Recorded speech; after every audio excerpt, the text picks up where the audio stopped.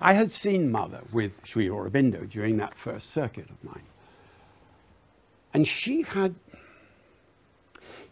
she had a different kind of gaze than Sri Aurobindo, a different kind of gaze. In fact, what had overwhelmed me when I first saw her was her gaze. It seemed that for the first time, someone was looking at me with love. It was a gaze that went deep into your flesh and pierced something open there. A rather overwhelming experience and a bit scary.